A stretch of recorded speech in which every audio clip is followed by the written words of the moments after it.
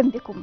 يقول الشاعر التركي ناظم حكمة في رسالة لولده محمد لا تحيا على الأرض كمستأجر بيت أو زائر ريف وسط الخضرة ولتحيا على الأرض كما لو كان العالم بيت أبيك. ثق في الحب وفي الأرض وفي البحر ولتمنح ثقتك قبل الأشياء الأخرى للإنسان. امنح حبك للسحب وللآلة والكتب ولتمنح حبك قبل الأشياء الأخرى للإنسان. ولتستشعر اكتئابة الغصن الجاف والكوكب الخامد والحيوان المقعد. ولتستشعر أولا اكتئابة الإنسان. لتحمل لك الفرحة كل طيبات الأرض. ليحمل لك الفرحة الظل والضوء. لتحمل لك الفرحة الفصول الأربعة. ولكن فليحمل لك الإنسان أول فرحة. أهلا بكم في أطياف.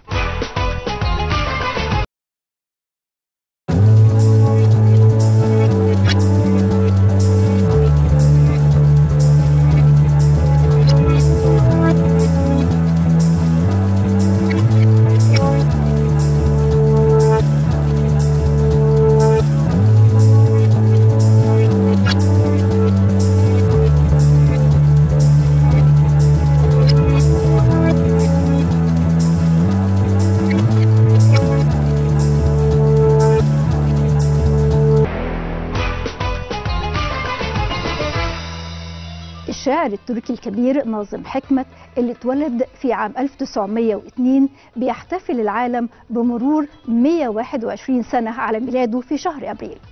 ناظم حكمت بيعتبر من أهم الشعراء الأتراك ومن أهم الشعراء في العالم. هو اتولد عيلة ثرية في تركيا ذات نفوذ وفي نفس الوقت تم نفيه من تركيا في خمسينيات القرن الماضي. بل إن شعره اتمنع في تركيا واتمنع من التداول في بعض وكثير من دول العالم. وتم تجريده من الجنسية التركية بسبب توجهاته الفكرية وإيمانه بالأفكار الاشتراكية. لكن الجنسية التركية رجعت له في عام 2009 بعد وفاته. ناظم حكمت هو أول شاعر تركي قدر إن هو يحطم قوقعة الشعر السلطاني القديم ويكتب بلغة الشعب اليومية اللي بيمتزج فيها المثل الأعلى بالزوجة المحبوبة بالوطن ما بنقدرش نفرق مين الزوجة ومين الوطن. لما بيجي يتكلم في شعره بيتكلم عن الإنسان بشكل عام. ورغم إن ناظم حكمت قضى معظم حياته ما بين السجن والمنفى إلا إن هو ما فقدش ابدا إيمانه بالإنسان والحياة والحب وبإن على الأرض ما يستحق أن يعاش. ناظم حكمت دأب على تمجيد الإنسان وتمجيد كل النضالات اللي قامت بيها الشعوب مهما كان اسمها أو مكانها الجغرافي. كان فنان حقيقي وشاعر إنسان بيبحث عن الإنسان في أغاني الريفيين البسطاء اللي بتحمل أحزانهم وأفراحهم فشرب من أفواههم الحكمة وراح يقدمها شعرا انسانيا صافيا اترجم إلى العديد من لغات العالم. ومن عالم الشعر إلى عالم الرواية مع الكاتب الكبير إدوار الخراط اللي تم افتتاح مكتبة عامة لتراثه وأعماله. وكل كتبه موجودة في 13 شارع ميرت باشا في ميدان التحرير الموجود أمام المتحف المصري في وسط القاهرة. المكتبة دي بيشرف عليها نجلة الكاتب الكبير إدوار الخراط إيهاب وأيمن الخراط. والمكتبة متاحة لكل الناس إن هم يقدروا يزوروها في الفترة من الساعة 12 الظهر للساعة 10 مساء كل أيام الأسبوع ما عدا يوم الثلاث والجمعة وهي بتضم أعمال إدوار الخراط اللي بحوالي 68 عنوان بالإضافة إلى مخطوطات كتبها بخط إيده وأعمال مكتوبة على الآلة الكاتبة. كمان بتضم مراسلاته مع الكتاب والنقاد المعاصرين ليه والمجايلين لأعماله والأدب. المكتبة بتضم ملفات عن الكتاب اللي لفتوا انتباه الكاتب الراحل ادوار الخراط ومنهم إبراهيم عبد المجيد سحر الموجي وغيرهم من الكتاب. كمان المكتبة فيها عدد كبير من الكتب اللي كان ادوار الخراط نفسه مهتم إنه يقراها. المكتبة متاحة لكل الناس في كل الوقت زي ما قلنا ما عدا يوم الثلاث ويوم الجمعة. من الكتب اللي صدرت حديثا في المكتبات المصرية والعربية كتاب 300 ألف عام من الخوف قصة البشر من بداية الكون إلى التوحيد. في هذا الكتاب دعوة للتوقف والتفكير والتأمل ومراجعة قصتنا قصة البشر.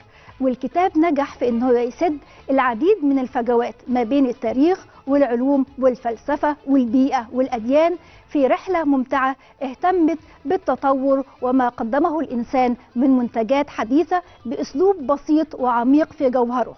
الكاتب الكبير إبراهيم عبد المجيد أشاد بالكتاب وكتب على صفحته على فيسبوك إنه لا يبدو أنه سينتهي من قراءة هذا الكتاب لأنه كلما تقدم في قراءته توقف ليفكر فيما يحتويه ويقول ما كل هذه المعرفة البيولوجية والاجتماعية والتاريخية والإنسانية كيف سألخصها في مقال وهو يفكر دائما فيما يهتم به القارئ. الكتاب عبارة عن مجموعة من الرسائل كتبها الكاتب جمال أبو الحسن لابنته في وقت الكورونا وبيشرح لها معنى الحياة ومعنى الوجود الإنساني. بندعوكم لقراءة هذا الكتاب المهم والجميل في مضمونه وفي معناه. من الخوف إلى عالم جديد ومختلف في الصين وهو عالم الابتسامة. الرسام الصيني يو من جان هو اعتمد أسلوب غريب وفريد في الرسم. هو بيرسم كل الوجوه ولكن بتحمل ابتسامة واسعة.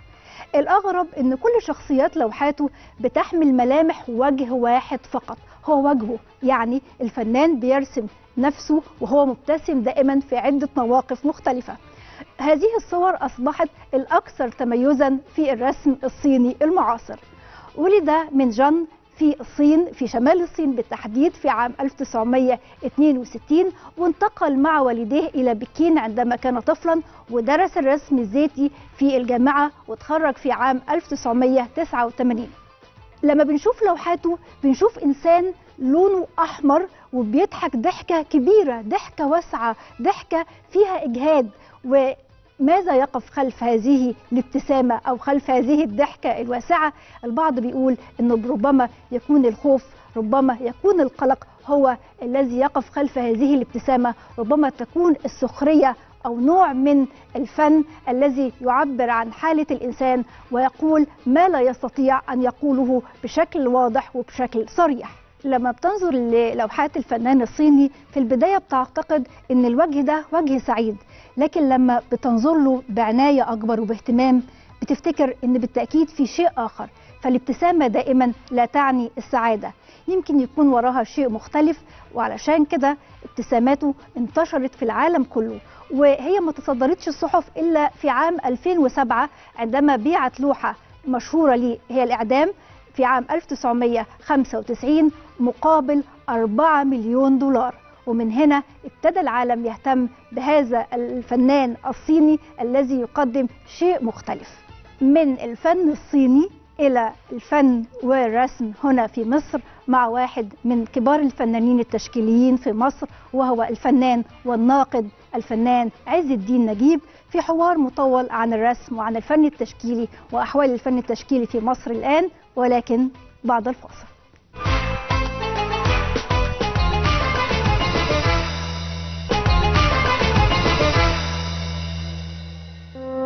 يعد الفنان عز الدين نجيب واحدا من أبرز المؤثرين في الوسط الثقافي والتشكيلي المصري على مدار العقود الماضية. ولد نجيب في الثلاثين من أبريل عام 1940 بمحافظة الشرقية ليكون الابن الخامس لأحد رجال التعليم الذي يهتم بالشعر والخط العربي. وفي عام 1958 التحق بكلية الفنون الجميلة بالقاهرة وتخصص في التصوير. وفي عام 1963 عمل بقصور الثقافة وأسس قصر ثقافة كفر الشيخ وعين مديرا له ثم مديرا لقصر المسافر خانة ومراسم الفنانين بحي الجمالية بالقاهرة. وفي عام 1964 أقام أول معرض تشكيلي له بقصر ثقافة الأنفوشي أسس عز الدين نجيب مركز الجرافيك بوكالة الغوري كما أسس مجمع الفنون بمدينة الخامس عشر من مايو. وعين مديرا عاما لها وانتخب رئيسا لمجلس إدارة أتيليه القاهرة للفنانين والكتاب في عام 1992 أسس عز الإدارة العامة لمركز الحرف التقليدية والتشكيلية بوزارة الثقافة وعين مديرا عاما لها. وفي عام 2000 صدر قرار وزير الثقافة بتعيينه رئيسا للإدارة المركزية لمراكز الإنتاج الفني قبل إحالته للمعاش في نفس العام. حصل عز الدين نجيب على جوائز وزارة الثقافة في التصوير الزيتي أعوام 1970 1982 1986 1987 وغيرها. واقتنى متحف الفن الحديث بالقاهرة 30 لوحة من أعماله من كافة مراحله الفنية. واقتنى المتحف الوطني بنيودلهي إحدى لوحاته كما اقتنى المتحف العربي للفن الحديث بقطر أربعة لوحات من مراحله المختلفة وكذا العديد من متاحف الدول العربية والأجنبية.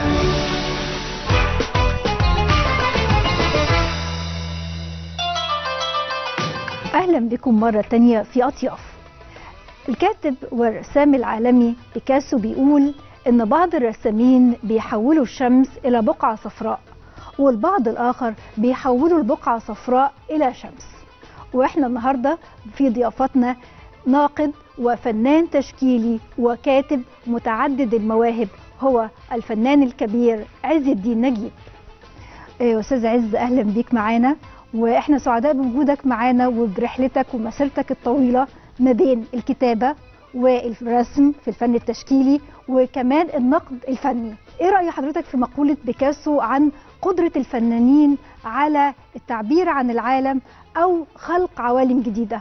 هو بيكاسو بال- بالجملة ديت لخص آه، فلسفته كلها ما بين إن الفن يبقى للغة الجمال والأشكال والألوان ويحول الطبيعة إلى عناصر فنية وبس لأن الجمال لا يحتاج إلى معاني. وبين المعنى الجانب الآخر أن الألوان والأشكال ولغة الجمال هي في النهاية لكي تصنع معنى أو حياة اللي هو رمز له بالشمس.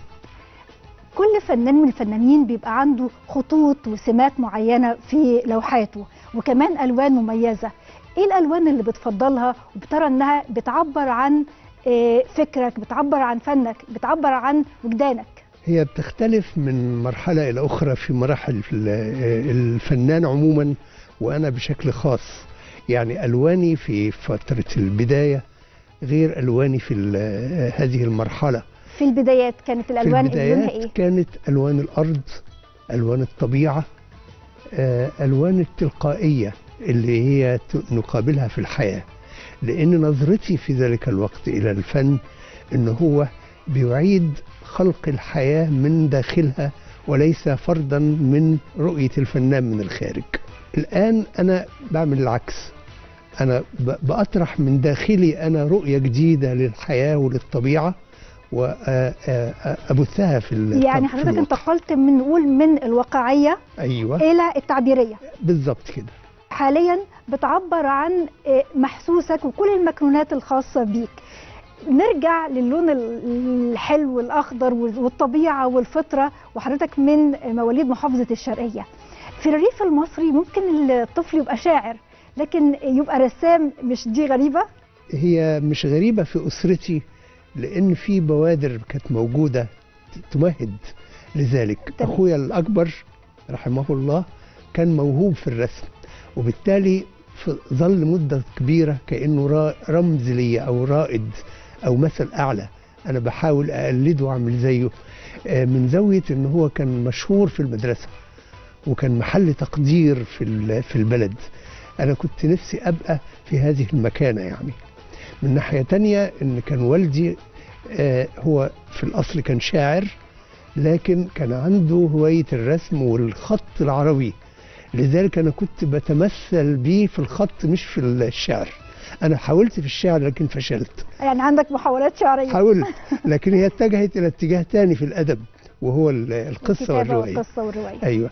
إنما الخط فضل هو آه، مثل للجمال في مع اللغة. يعني اللغة ترتبط بالخط العربي وكان رائدي هو والدي في ذلك. أستاذ عز حضرتك درست الفن دراسة أكاديمية آه، في كلية الفنون الجميلة. هل بتعتقد إن الموهبة لا تقتصر فقط على آه، إنه الفنان يبقى موهوب بس لازم يدعم ال- الموهبة دي بدراسة ده صحيح يعني الموهبة في حياة الفنان الحقيقي قد لا تكون أكثر من 50% والباقي اجتهاد والباقي وعمل. تجارب وتدريب وخبرة وممارسة م. لأنه بيتحول ويتغير وتنمو موهبته مع هذا التدريب. لكن إذا ظل على الموهبة فقط فسيتجمد عند بعد معين والفن ضد تحديد الأبعاد. هل عدم تحديد الأبعاد ده اللي خلى حضرتك آه، يعني ترفض أو نقول إن أعمالك كلها لا تنتمي إلى مدرسة فنية محددة لكن هي بتتنوع ما بين مدارس مختلفة؟ هي بتختلف برضو مع الفنانين. في فنان بطبيعته متمرد. لا أنا بتكلم على تجربة حضرتك. تجربتي يعني أنا من النوع الذي لا يقف عند مدرسة بعينها وإنما المدرسة أو الاتجاه بي- بيرتبط بالمعنى والمضمون. أنا واحد من الفنانين اللي رحلته مع الفن هي بالضبط رحلته مع ماذا يعني الفن. هل ماذا ماذا يهدف يعني الفن؟ الفن أم إنها رحلة لاكتشاف الإنسان؟ إيه هو الاكتشاف لا ينفصل عن المعنى. والمعنى مش بالضرورة أنه يكون رسالة وإنما أنه يكون روح ويقدم من خلالها رؤية جديدة للحياة. فأنا دائما اللوح حتى لو كانت طبيعة صامتة أو منظر من الطبيعة لكن له قبس من الروح الإنسانية.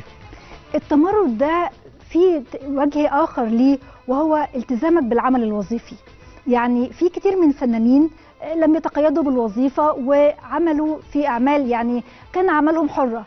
لكن حضرتك التزمت منذ تعيينك في قصر ثقافة الانفوشي في اسكندرية بالتدرج الوظيفي. هو التدرج الوظيفي كان عندي خادم لرسالة من وراء ال- الوظيفة. إزاي؟ ال- انه إنه أنا مؤمن من من بدايتي خالص في العمل آه، ال- الوظيفي أن يكون في خدمة معنى أو رسالة. والرسالة لما تكون من خلال قصر ثقافة معناها مباشرة أن أرتقي بالوعي وبالذوق آه، والحس الإنساني عند المتلقي. أنا بتعامل مع الجمهور. هنا بتخ- بتختلف ما أن اكون بتعامل مع نفسي كفنان. أنا كفنان مش مسؤول إلا عن ما أعمله للوحتي الخاصة أو ال- العمل الفني. ده جعل عندك نوع من الالتزام؟ التزام نحو المجتمع نحو ده- البيئة اللي حضرتك عايش فيها؟ ده صحيح. والالتزام ده أصله آه، ليس مجرد آه، حصر في وظيفة أو مه- مهنة محددة وإنما إنه بيكون الالتزام وجودي. يعني أنا وجدت في الحياة من أجل أن أغير الحياة مش من أجل أن آه، أتماشى وأتساير. يعني في بعض الناس يعتبروا إنه بي بي الحياة بتاخده في مجراها. لا أنا باخد الحياة في مجرى الخاص اللي أنا حطيته لنفسي. يعني التأثير متبادل بينك وبين الحياة. ده الحقيقة. وعلشان كده عند حضرتك تعدد وتنوع في الفنون. يعني عندك كتابة عندك نقد عندك الرسم في كل لوحاتك. هذا التعدد وال- والتنوع بيعود مصدره إلى إيه؟ يعني إيه اللي يخلي حضرتك دايما محتفظ ما زلت الناقد الكبير والكاتب والرسام؟ اولا في موهبة من ربنا سبحانه وتعالى. دي بيديها لمن يشاء. وأنا يعني مع يعني أنا كنت أفضل مثلا في البداية أن تكون لدي موهبة واحدة إن أنا أبقى فنان وبس أو إن أنا أبقى كاتب وبس أو ناقد وبس لأن كل واحدة من دول تحتاج عمر نعم. عشان أخلص لها. لكن بأفاجئ إن أنا عندي الدافع والطاقة وال- والعطاء اللي ممكن أعطيه في كل منها. فبحس بال بإن أنا يعني بحرم آه، ال- ال- ال- الجمهور أو ال- المجتمع من موهبة قد تكون نافعة له لو أنا ما استغلتهاش. خلال دراستك الأكاديمية التقيت بعدد من أعلام الفن التشكيلي اللي درسوا لك في كلية الفنون الجميلة. هل اتأثرت بحد من الفنانين؟ وإزاي كان التأثير ده دافع لك في مسيرتك الفنية؟ هو كان أكثر تأثير وأقصر مدة في التأثير كان الفنان حسين بكار آه، آه، أكثر لأن هو تماهى معايا وتوافق معايا في كتير من الأفكار والرؤى. وأنا كتير آه، يقولوا لي يعني إنك فيك كتير من من بيكار سواء في اللغة في الإحساس في وكمان الأسلوب. الكتابة يعني بيكار كان بيكتب زي مقولات زي جمل حكيمة كده مع لوحاته. أيوه إلى إلى جانب انه ناقد نعم. إلى جانب إنه فنان آه، ومعلم. نعم. آه، وإن هو يقود يعني هو طول عمره يقود وي- ويحرك يعني. أنا خدت منه هذه الصفات. واقصر مدة لأن إحنا ما قعدناش مع بعض إلا سنة واحدة. وهو بعدها ترك الوظيفة والعمل ال- الأكاديمي والتحق بال- بالصحافة. فبقيت أتتبعه وهو في الصحافة ويظل برضه هو رائد بالنسبة لي. لكن إلى جانب بيكار كان هناك فنانين آه، عظماء تانيين من؟ الأساتذة. عز الدين حمودة مثلا. عز الدين حمودة كان يجمع ما بين الأناقة الشديدة جدا وبين التهور في إن هو يخرج عن المألوف. آه، وهو كان في في شبابه المبكر في الأربعينيات عضو مؤسس من جماعة الفن الفن الحديث. آه. دي غيرت كتير في مسار الحركة الفنية ب- بروح ثورية. بالرغم من محافظ محافظ جدا وأنيق و- وكلامه محدد ويعني وكأنه حكيم يعني. إنما خدت منه البعد الثقافي إنه كثيرا ما يقرأ ويشجعنا على القراءة. الفنان عبد الهادي الجزار. عبد الهادي الجزار لحقته آه، آه، برضه مدة قليلة جدا. لأنه رجع من البعثة بتاعته وأنا بستعد للتخرج. وهو كان راجع ولسه ما زال معيد يعني ما ما ما انتقلش إلى الأستاذية. لكن أنا تتبعته كفنان وبقيت أتابع التحولات اللي كان بيعملها ما بين ال- الكتابة الزجلية أو الشعرية وبين التعبير المجازي اللي هو خارج عن المألوف. والتعبير السريالي. والسريالي طبعا هو إن كان ليه رأي في موضوع السريالية لأن هو سرياليته مصرية. شعبية. اللي فيها هي ممتدة شعبية. من الجذور الشعبية مش من السيكولوجي اللي هو علم النفس والفرويد كان بيشتغل عليه العقد النفسية والحاجات دي. لا ده هو كان بيتمثل المجتمع كله في في أعماله السريالية ديت. وبالتالي آه، فضلت له خصوصية آه، تختلف عن أي سريالية في العالم. السفر للخارج. حضرتك ما سافرتش آه، في أي بعثات تعليمية للخارج. ده ممكن نقول إنه طبع أعمالك بروح مصرية خالصة؟ هي ال- الروح المصرية ال- الخالصة أقدر أرجعها بشكل خاص في بعثة داخلية. آه. قبل ما بعد بعد التخرج مباشرة. وده كان آه، تقليد رائع جدا. معرفش ليه بطلوه. آه، الأوائل في خريجي كلية الفنون الجميلة كانوا يبعثوا في بعثة داخلية إلى مرسم الأقصر. آه. فأنا خرجت من الكلية وسافرت على الأقصر في, الب... في هذه البعثة الداخلية. هي دراسات عليا لكن حرة جدا من غير مناهج ولا تقاليد ولا أساتذة كانت مدتها قد؟ آه، هي سنتين لكن أنا ما كملتهاش آه، إلا سنة واحدة لأن جات لي الوظيفة بتاعه الأنفوش بتاعه آه. اسكندرية وفضلت إن أنا ألتحم بال- بالواقع أكتر من التحامي بالدراسة الأكاديمية على أساس إن أنا ملئ شحنت ال- ال- الشاحن الخاص بيا بالرؤية المصرية وعاشت معايا وأقدر أمارسها وأنا في أي مكان مش بالضرورة في الأقصر بحد ذاتها. عند حضرتك لوحات كتيرة متأثرة بفترة الأقصر دي ما زالت يعني رغم إنها في فترات وسنوات تالية. عندك تمثيل لمعبد الكرنك تمثيل للمعابد المصرية بتعبر فيها عن صمود الإنسان المصري وقدرته على ال- المواجهة والتحدي. وكمان ال- الصحراء الصحراء موجودة بشكل كبير في لوحاتك. آه، فيها تعبير آه، عن سعي الإنسان للحرية والبراح هو صحيح آه، آه، آه، رؤية حضرتك الصحراء عنصر رئيسي من مسار تعبيري والحجر متمثلا في في في الصروح المعمارية اللي حضرتك قلت عليها. ال- البعدين دول دائما كانوا مترددين معرفش تلقطيها إزاي لأنها لقطة ذكية جدا.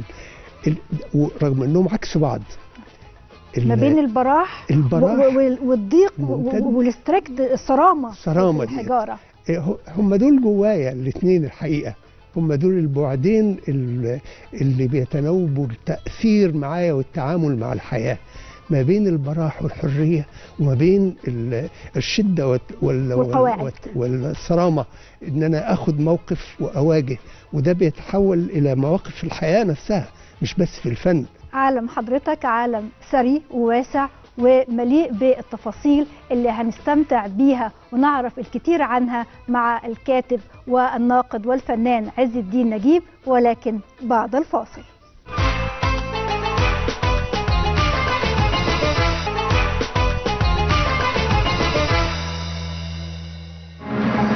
للفنان التشكيلي عز الدين نجيب وجه إبداعي آخر. وهو الكتابة الأدبية خلاف كتبه النقدية في الفن التشكيلي. وقد بدأ نجيب كتابة القصة القصيرة منذ بداية ستينيات القرن العشرين ونشر مجموعته القصصية الأولى أيام العز عام 1962 ثم نشر مجموعته الثانية المثلث الفيروزي عام 1968 بعدها نشر المجموعة الثالثة أغنية الدمية عام 1975 وفي 2014 نشر مجموعته القصصية الرابعة نقطة صغيرة قرب السماء. وفي السنوات الأخيرة اتجه إلى كتابة الروايات بجانب القصص القصيرة ونشر منها نداء الواحة عام 2015 المسافر خان عام 2018 ودبيب العقرب ونشرت إلكترونيا على الموقع الرسمي للفنان عز الدين نجيب. وبالإضافة لقصص وروايات عز الدين نجيب فقد كتب الكثير من المؤلفات الثقافية وكتب النقد الفني ومنها كتاب الصامتون وكتاب رسوم الزنزانة وفيه يحكي عن تجربته في السجن. وكتب أيضا النار والرماد في الحركة التشكيلية المصرية أنشودة الحجر فجر التصوير المصري الحديث وغيرها من المؤلفات الهامة.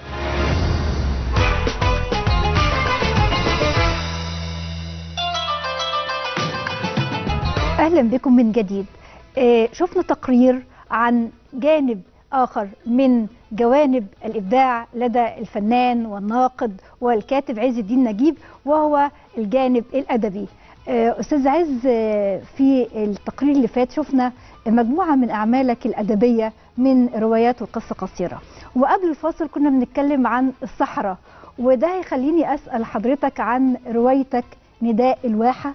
اللي فيها استلهام لعالم الصحراء بما فيها من تمرد وسكون يعني وتنوع مختلف. هي بالتحديد في واحد سيوة. آه. دي المكان الملهم أو مسرح الأحداث. سافرت الواحد سيوة؟ واحد سيوة. قضيت فيها فترة؟ أيوه من من أوائل الفنانين اللي نزلوا هذه الواحة. أنا ومجموعة من زملائي الفنانين. وهذه المجموعة هي أصبحت أبطال الرواية. يعني هي الفن داخل المكان. المكان هو الواحة والصحراء من خلفه. وده آه، عالم لا نهائي. فيه التاريخ فيه الغموض فيه السحر فيه هل الأسطورة. تناولت أيضا أهالي سيوة؟ ب- وفيها طبعاً. بموروثاتهم وعاداتهم وتقاليدهم أيوة. ده كان بعد أساسي فيه لأن لما التحم الفنانين في هذا الواقع كان لابد أن يب- ينشأ علاقة بينهم وبين أهل الواحة وتبقى علاقة آه، آه، درامية لأن حدث حدث معين طبعا مش هحكي التفاصيل لكن أدت إلى أن يشتبك الطرفين ويبقى هناك قضية ومشكلة ويصبح الفنان هنا متورط في هذا العالم بتقاليده وعالمه السحري من هنا فالروايه بقت مجموعة من العادات والتقاليد والسحر والغموض إلى جانب الجماليات الملهمة لأعمال الفنانين. حضرتك ليك اهتمام كبير بمسألة الفنون الشعبية والحرف التراثية ومؤسس لجمعية أصالة وهي جمعية كانت يعني وما زالت يعني وإن كان نشاطها في الآونة الأخيرة خفت. قل كتير. ال- الحرف الفنية والحرف الشعبية إزاي ابتدى الاهتمام ده آه، من عالم ال- الرسم إلى عالم الحرف والتشجيع على ممارسة هذه الحرف وممارستها بالنسبة لمختلف قطاعات من الناس آه، مرجع الاهتمام بتاعي ناشئ من إن أنا عشت فترة سنين طويلة جدا في منطقة الأزهر وخان الخليلي. آه، ومرسمي كان موجود هناك في المسافر خانة. ولك رواية اسمها مسافر خان. رواية بعدها عن ال- المكان برضو آه. اللي هي اسمها المسافر خانة. فأنا في قلب آه، التاريخ وفي قلب التاريخ الممتد وال- والمستمر مش التاريخ كأثر وإنما التاريخ كتفاعل مع الواقع اللي هي الحرف اليدوية. والمحافظة على هذا التراث على التراث وامتداده. ثم اكتمل هذا التلاحم لما نقلت مرسمي بعد ما هاجرت آه، المسافر خانة إلى وكالة الغوري آه. في في في شارع الأزهر. آه، وكالة الغوري مجمع للحرف التقليدية إلى جانب انه مجمع للفنانين التشكيليين. فاصبح قدامي مواجهة حضارية غريبة جدا.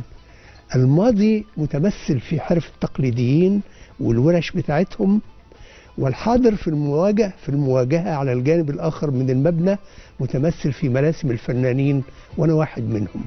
هذا الوضع كان طب ده يعني ده المفروض يبقى في حالة تكامل وليس حالة كان هو ده. هو ده بالظبط هذا التكامل المفقود.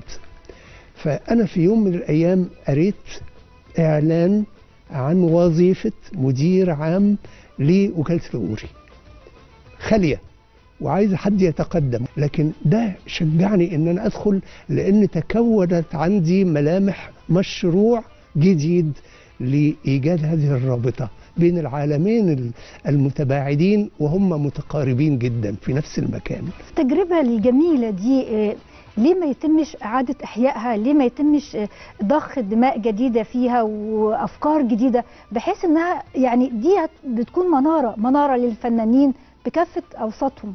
أنا أرجو أن تتولى أو أو أو تلقي الدكتورة نيفين الكيلاني وزيرة الثقافة نظرة جديدة إلى هذا القطاع. ليس مجرد إنه يبقى مجرد حرف. اللي موجود في وكالة الغوري بالمناسبة من الحرف بقايا حرف لأن اتنقل أغلب الحرف من هناك إلى صندوق التنمية الثقافية في مكان تاني في الفسطاط ولم يجدوا هناك نفس ال- الروح والبيئة والمناخ اللي كانوا بيشتغلوا بيه هنا. وإحنا كمان بنشارك حضرتك الدعوة لمزيد من الاهتمام بالحرف التراثية في مصر. آه، نقول على مكان تاني آه، مؤثر في حضرتك جدا وهو آه، المسافر خانة. هذا المكان كتبت عنه رواية وحضرتك لك معاه تفاعلين تفاعل على المستوى الخاص وتفاعل على المستوى العام. نحكي عن تجربتك مع هذا المكان. المسافر خانة حلم حقيقة. ولما كتبت عنه الرواية كان من هذا المنطلق لأنه ما بقاش كمان موجود. نعم. اللي زود فكرة ال- ال- الحلمية أو الأسطورية إنه ما بقاش موجود في الواقع لأنه اتحرق وانهار وانت- يعني ما بقاش موجود. الواقع. أثر اندثر. اندثر. تماما أو اندثر بفعل فاعل يعني لأنه تم تدميره آه، في ذلك الوقت كان آه، أنا خارج من تجربة الثقافة الجماهيرية في قصور الثقافة بالذات في كفر الشيخ وغير مؤمن إن من الممكن نعمل حاجة تاني بالتفاعل مع الجماهير لأن أنا خرجت انسلخت ده كان سنة كام تقريبا؟ كان أواخر الستينيات آه. يعني 68 تحديدا يعني فثروت عكاشة وزير الثقافة في ذلك الوقت لأنه كان آه، بيكن لي مكانه خاصة وأنا أيضا بعتبره رائدي وأستاذي. هو رائد للثقافة والفن التشكيلي يعني. في مصر وفي العالم آه. العربي. هو اللي اختارني لكي أدير قصر آه، آه، المسافر خانة. نعم. وأنا عمري ما كنت سمعت بيه. قال لي تعالى اعمل زي ما كنت بتعمل في كفر الشيخ. فانا فرحت جدا لأن كان حلم تقريبا وما عادش ينفع يعني يعاد تاني. ولكن كانت تجربة مثيرة لأنها كمان في قلب الجمالية منطقة الحسين العاصمة الخليلي الثقافة و- الإسلامية ال- يعني ال- القلب العالمي الإسلامي الفاطمية. القاهرة الفاطمية. أيوه. لقيت قصر يعني يجنن من جماله. رائع. جمال فوق الوصف من الناحية. ال- ال- العمارة الإسلامية. كل جماليات العمارة الإسلامية وكأنها آه، تجمعت في كتلة واحدة كتلة صغيرة. قال ده اعتبره مراسم الفنانين وانت تقعد في وسطهم وتعمل اللي انت عايزه. كان فوق الخيال والحلم. سبع سنين في هذا المبنى وأنا أعطي نفسي وهو يعطيني. ومعارضي تخرج منه كل سنة وكأنها إخراج من من مكنة إبداع يعني. المسافر خانة استمر بعد ما أنا خرجت منه. طبعا كان لابد أخرج. فرحت وكالة الغوري. إنما المسافر خانة استمر بفنانين ورؤية ويعني كما كان. والرواية بتتكلم عن هذا العالم؟ خدت ده هذا العالم. يعني أنا اعتبرت المسافر خانة ده بيتي. بيتي اللي ما بقاش موجود. بجماله كله بالأحداث المريرة اللي فيه وكأنه بقعة من مصر الجميلة اللي آه، آه، يعني نقدر نقول تم القضاء عليها. ما بقتش موجودة. وانتهت نهايه درامية بحريق. أتى إليها من كامل. فأنا بدأت بالحريق. وانتهيت بال بالأطلال. لما رجعت له بعد سنين عشان أشوفه. وأتذكر كل ما يعني دار هي رواية الرحلة. ذكريات وحنين. أيوه. آه، كمان ال- الريف موجود عند حضرتك لأن الريف يعني في تشكيل آه، بيساهم بشكل كبير في تشكيل وجدانك. ال- الريف بألوانه اللي هي ممكن تكون عكس الصحراء الألوان الخضراء اللي فيها الهدوء وال- والبراح أيضا اللي موجود أيضا في الصحراء. آه، هل ما زال ال- الريف له نفس ال- الأحاسيس والمشاعر اللي بيثيرها عند حضرتك؟ هو بقى آه، في الخلفية. في الخلفية. آه ما بقاش في ال foreground زي ما كان لأن أنا في البداية. يعني أول مجموعة قصصية ليا اسمها أيام العز كلها في الريف. آه. المجموعة القصصية تدور أحداثها كلها في واقع الريف. واللي بعدها يعني جزئيا وقعدت تقل تدريجيا بحكم ارتباطاتي ومعايشاتي الجديدة في عالم متنوع ومتغير. آه لكن يظل الريف هو البكاره هو الحلم وهو كمان النعومة المنسابة. يعني آه، الألوان تظل هي بهذه الدرجة من من الحميمية ال- ال- الناعمه اللي ما فيش صدام فيها. أستاذ عز إحنا اتكلمنا عن الكاتب واتكلمنا عن الفنان الرسام الناقد. موقعه ابتديت إزاي؟ فكرة إن أنت تكتب كتابات نقدية. يعني إيه الكتابة نقد للاخرين دي إيه جت الشجاعة دي منين؟ هي الحقيقة جت آه، مفاجأة ليا اولا من صديق آه، ناقد كبير الله يرحمه ناقد أدبي فاروق عبد القادر. كان آه، ماسك ال- القسم الأدبي في جريده مجلة الطليعة اللي كانت بتطلع من أي. قال لي ما تيجي تكتب معانا. قلت له اكتب إيه؟ أنا ما بكتبش نقد. أنا بك أنا بكتب أدب. أنت عايزني أعمل إيه؟ قال لي لا اكتب عن المعارض. فاستهوتني الفكرة إن أنا هل في البداية كانت تغطية كانت للمعارض تغطية للمعارض. آه. دي كانت المقصود اولا لأنه ملف الأدب والفن في آه، آه، آخر ال- المجلة. آه، أنا بطبيعتي اكتشفت كده فيما بعد إن أنا جوايا ناقد آه، يعني ونا- مزعج ناقد مزعج على فكرة جدا لأنه مش- ما بيرضاش. فبيشوف كل حاجة من الزاوية اللي محدش شافها واللي عاوز هو يشوف عليه. فبدأت آه، أشوف في كل تجربة لفنان رؤية مختلفة فتعمل محكات ويبقى في ردود وفي يعني آه، جدل حواليها. ده أثار اهتمامي إن أنا أعمق هذا الجانب. بالقراية بالمتابعة بكمان بالاستدعاء لخبراتي في الأدب لأن الأدب سبق عندي. نعم. الكتابة الأدبية سبقت. آه، ده كله حرضني على إن أنا أستمر في الكتابة النقدية في الفن التشكيلي. الناقد عز الدين نجيب إيه شايف رحلة الكاتب والفنان عز الدين نجيب إزاي؟ يعني خلينا يقدم بقى رؤية نقدية لهذه المسيرة. عز الدين نجيب الثلاثي ظلم نفسه. الفنان ظلم الناقد والناقد ظلم الكاتب لأن كل واحد منهم كان بيطالب بحقه دائما.